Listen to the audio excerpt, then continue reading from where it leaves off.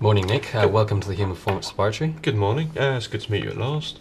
Um, in terms of um, what you'd like to get out of this, um, what are what are your objectives? Well, as you know, I'm planning on going to Everest in a year and a bit, year and a half's time. So there's a few things I need to work on. I mean, firstly, the my general upper body strength. I think is a bit um, a bit weak at the moment. Uh, I'd like to work on that.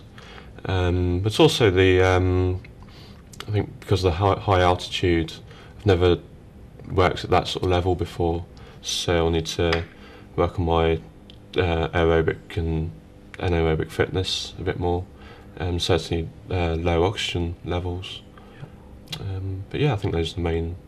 Okay, main- so just just to summarise, um, you want to develop your upper body strength to Mhm. cope with the demands of of climbing uh, such a high altitude uh, at Everest, Mhm. and um, to develop your muscles and cardiovascular system to cope with um, the low levels of oxygen also at, at that high altitude. Okay, yeah, yeah, that sounds fine. Well, the process will be that we'll, we'll make some assessments today, uh, and then we'll provide you with a training regime, um, and then uh, a couple of months down the line, we'll we'll reassess, uh, and then finally, we should then be able to make some adjustments before your expedition. Okay, Nick, if you could come over and stand with your back to the stadiometer, please. During initial assessment and before any physical training, baseline measurements have to be made, such as height and weight.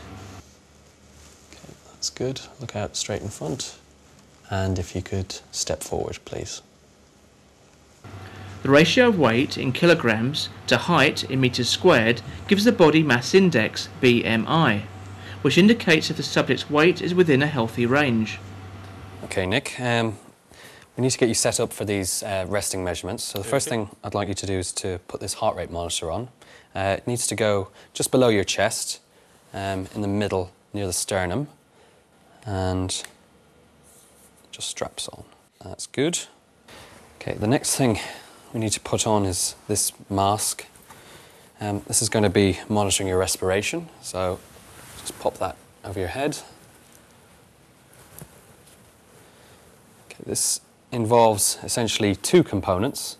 This black piece here is a turbine which is going to be measuring the, the volume of your inhalation exhalation. And uh, the other measurement that's being made is the concentration of the gases, um, carbon dioxide and oxygen, and how they change during inhalation and exhalation. Okay, so there seems to be a fixed Seems to be a good seal. Is it reasonably comfortable? Mhm. Yeah? Okay, so if you could lie down now and uh, just relax, head back, that's good. So, the next five minutes, um, we're going to be monitoring your respiration, your heart rate.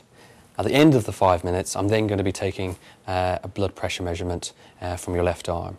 Okay, but I'll let you know when that's happening. Okay. Okay, good.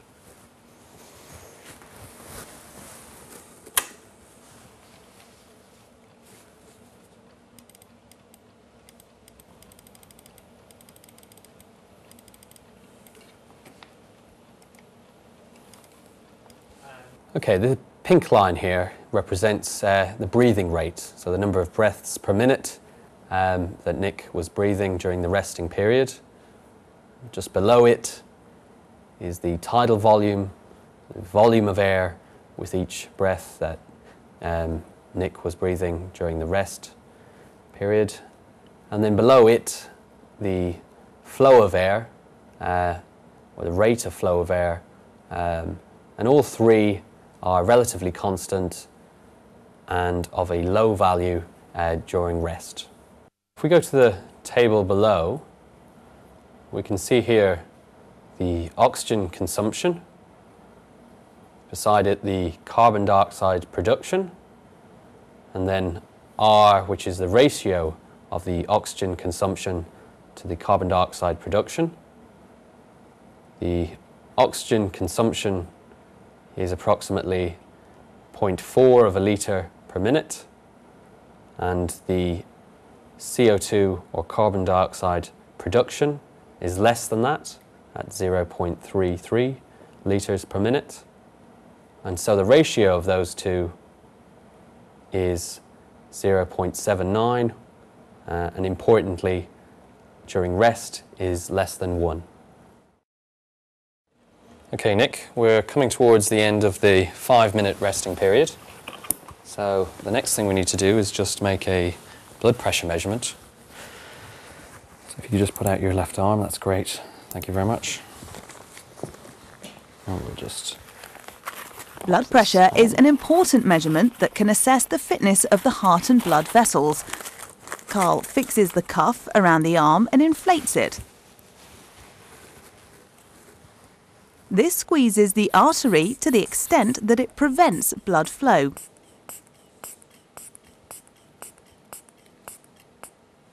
As the cuff pressure is reduced, a series of sounds of the return of blood flow in the artery can be heard. systolic pressure at about 115.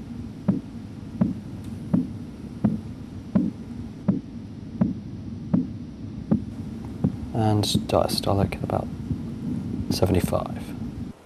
Okay, that's good. Thank you very much. That's now the end of our resting measurements. So uh, we'll be moving on to the body composition next. Okay.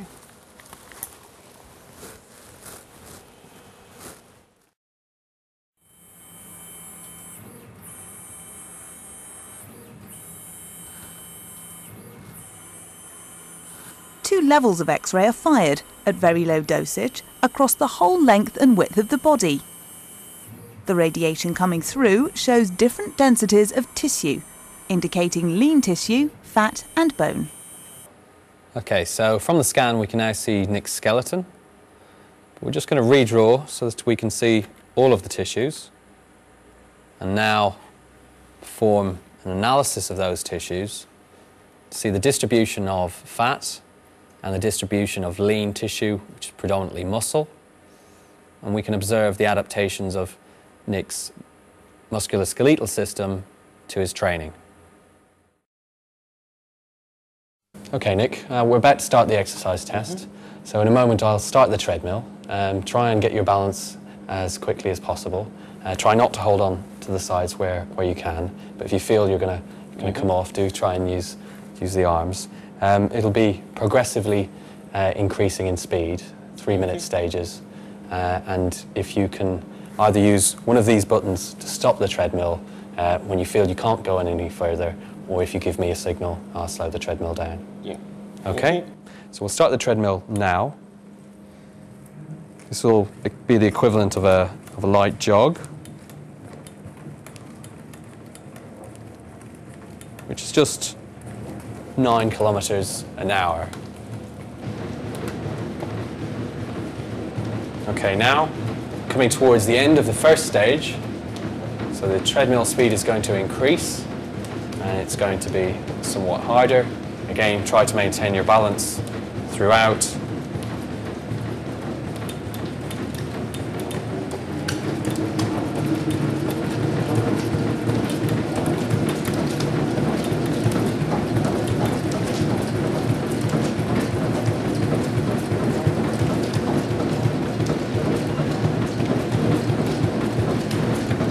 Okay, we're now approaching the end of the second stage.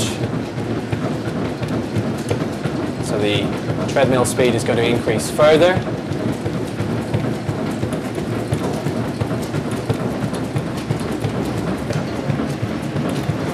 Okay, that's full speed. That's good stuff, Nick. Keep it going. Doing really well.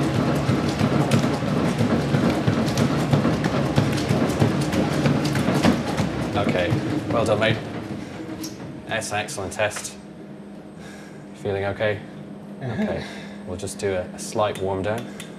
So just get you walking again. Just let your breathing and heart rate come down a little bit. Okay, well done. That's the end of your exercise test. So if we look at the trace now during the exercise test, we can see that each of the variables progressively increases towards a peak or a maximum at the end of the exercise test. So the volume in each breath is increasing progressively and reaching a peak. The frequency or the rate of breaths being taken is reaching a peak. And the flow of the air through the, the mouthpiece is again reaching a peak towards the end of the test. If we go down now to the table, we can look at the oxygen uptake is more than three times what it was at rest. And importantly, the carbon dioxide production is greater now than that of the oxygen uptake, which gives us a ratio or quotient, respiratory quotient, that is greater than 1.